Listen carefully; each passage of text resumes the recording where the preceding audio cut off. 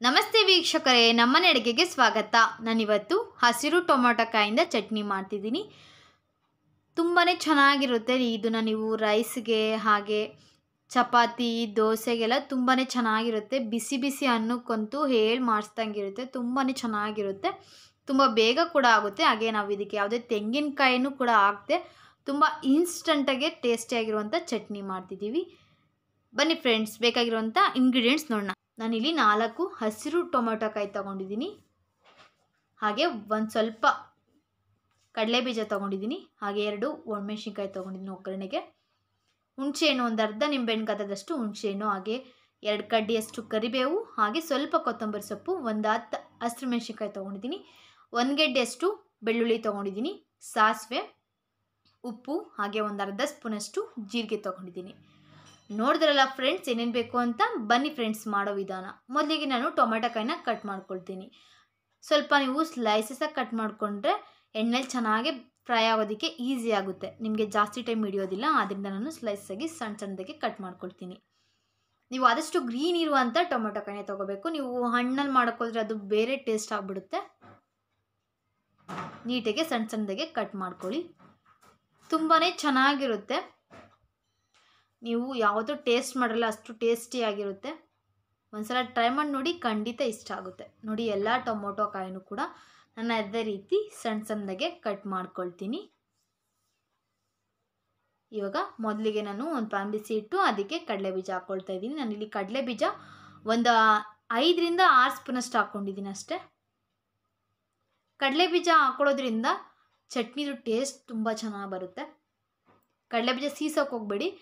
ಚೆನ್ನಾಗಿ ಫ್ರೈ ಮಾಡಿಕೊಂಡ್ರೆ ಸಾಕು. ನೋಡಿ, ಅದೇ ಪ್ಯಾನ್ಗೆ ನಾನು ಎಣ್ಣೆ ಹಾಕ್ತಾಯಿದ್ದೀನಿ ನಾನಿಲ್ಲಿ ಟೊಮೊಟೊ ಕಾಯಿನೂ ಮತ್ತು ಹಸಿರು ಫ್ರೈ ಮಾಡ್ಕೋಬೇಕು. ಆದ್ದರಿಂದ ನಾನು ಎಣ್ಣೆ ಹಾಕಿ, ಎಣ್ಣೆ ಬಿಸಿ ಆದ ನಂತರ ಹಸಿರು ಮೆಣ್ಸಿನ್ಕಾಯಿ ಹಾಕ್ಕೊಳ್ತಿದ್ದೀನಿ ಹಸಿರು ಸ್ವಲ್ಪ ಬಾಡಿದ ನಂತರ ನಾನು ಸಣ್ಣ ಸಣ್ಣದಾಗೆ ಕಟ್ ಮಾಡಿರುವಂಥ ಟೊಮ್ಯಾಟೊ ಕಾಯಿ ಹಾಕ್ಕೊಳ್ತಾ ಇದ್ದೀನಿ. ಸ್ವಲ್ಪ ಚೆನ್ನಾಗಿ ಫ್ರೈ ಮಾಡ್ಕೊಳ್ಳಿ.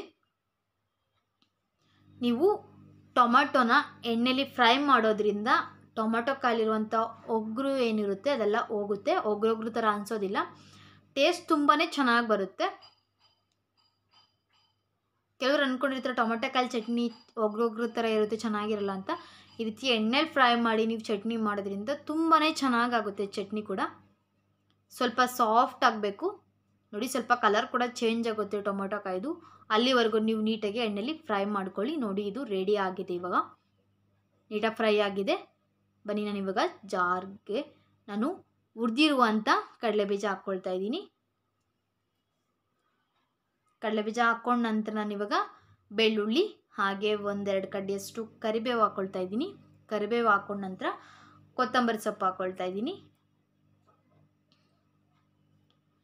ಉಪ್ಪು ರುಚಿಗೆ ತಕ್ಕಷ್ಟು. ಇಷ್ಟನ್ನು ಸ್ವಲ್ಪ ನೀರು ಹಾಕ್ಕೊಂಡು, ತುಂಬ ನೀರು ಹಾಕ್ಕೊಳ್ಳೋದಕ್ಕೆ ಹೋಗ್ಬಿಡಿ. ಸ್ವಲ್ಪ ನೀರು ಹಾಕ್ಕೊಂಡು ನುಣ್ಣಗೆ ರುಬ್ಕೊಳ್ಳಿ. ನುಣ್ಣಗೆ ರುಬ್ಕೋಬೇಕು ಸ್ವಲ್ಪ. ನೀವು ಟೊಮೆಟೊ ಕಾಯಿನ ಜೊತೆಲೆ ಹಾಕೋದಕ್ಕೆ ಹೋಗ್ಬಾರ್ದು. ಸ್ವಲ್ಪ ರುಬ್ಬಿದ ನಂತರ ನೀವು ಟೊಮೊಟೊ ಹಾಗೆ ಹಸಿರು ಮೆಣಸಿನ್ಕಾಯಿ ಹಾಕ್ಕೊಂಡು ಒಂದೆರಡು ಮೂರು ರೌಂಡ್ ಸುತ್ತಿದ್ರೆ ಸಾಕು. ತುಂಬ ನುಣ್ಣಗೆ ಮಾಡ್ಕೊಳ್ಳೋ ಅವಶ್ಯಕತೆ ಇರೋದಿಲ್ಲ. ಯಾಕೆಂದರೆ ನಾವು ಮೊದಲೆಲ್ಲ ರುಬ್ಬಿರ್ತೀವಿ. ಇದನ್ನು ನೀವು ತೆಂಗಿನಕಾಯಿ ಹಾಕದೆ ಮಾಡ್ತಿದ್ದೀರ ತುಂಬ ಚೆನ್ನಾಗಿರುತ್ತೆ. ನೋಡಿ ಇಷ್ಟು ನುಣ್ಣಗೆ ರುಬ್ಕೊಳ್ಳಿ.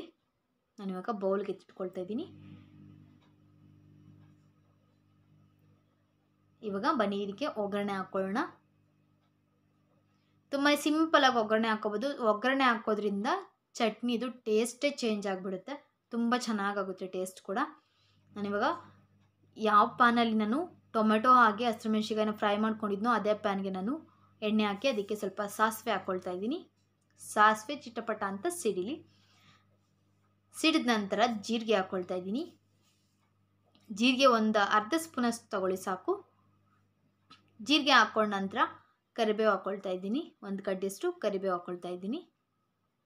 ಕರಿಬೇವು ಹಾಕ್ಕೊಂಡ ನಂತರ ಒಣಮೆಣ್ಸಿನ್ಕಾಯಿ ಎರಡು ಹಾಕ್ಕೊಳ್ತಾ ಇದ್ದೀನಿ. ನೀಟಾಗಿ ಫ್ರೈ ಮಾಡ್ಕೊಳ್ಳಿ. ಇದಕ್ಕೆ ನೀವು ಒಗ್ಗರಣೆಗೆ ಬೆಳ್ಳುಳ್ಳಿ ಎಲ್ಲ ಆ್ಯಡ್ ಮಾಡೋದಕ್ಕೆ ಹೋಗಬೇಡಿ. ನೋಡಿ ಇಷ್ಟನ್ನು ಹಾಕಿ ನೀಟಾಗೆ ಫ್ರೈ ಮಾಡಿಕೊಂಡು ನೀವು ಚಟ್ನಿಗೆ ಮಿಕ್ಸ್ ಮಾಡ್ಕೊಂಡು ತಿಂದರೆ ಸಾಕು. ತುಂಬ ಚೆನ್ನಾಗಿರುತ್ತೆ. ಅದರಲ್ಲೂ ನೀವು ಬಿಸಿಯನ್ನು ಕಂದು ನೀವು ಈ ಚಟ್ನಿ ಹಾಕ್ಕೊಂಡು ತಿನ್ನಿ ತುಂಬಾ ಚೆನ್ನಾಗಿರುತ್ತೆ. ಟೇಸ್ಟ್ನ ಹಾಗೆ ಹೇಳೋದಕ್ಕಾಗೋದಿಲ್ಲ. ನೀವು ಟೇಸ್ಟ್ ಮಾಡಿ ನೋಡಿದಾಗಲೇ ನಿಮಗೆ ಟೇಸ್ಟ್ ಯಾವ ರೀತಿ ಇದೆ ಅಂತ ಗೊತ್ತಾಗೋದು. ನೋಡ್ದಲ್ಲ ಫ್ರೆಂಡ್ಸ್, ಎಷ್ಟು ಈಸಿಯಾಗಿ ಟೊಮೊಟೊ ಕಾಯಿನಿಂದ ಟೇಸ್ಟಿಯಾಗಿರುವಂಥ ಚಟ್ನಿ ಮಾಡೋದು ಅಂತ. ಈ ವಿಡಿಯೋ ಇಷ್ಟವಾದರೆ ದಯವಿಟ್ಟು ಲೈಕ್ ಮಾಡಿ, ಶೇರ್ ಮಾಡಿ, ಹಾಗೆ ತಪ್ಪದೆ ಕಮೆಂಟ್ ಮಾಡಿ ತಿಳಿಸಿ. Thank you.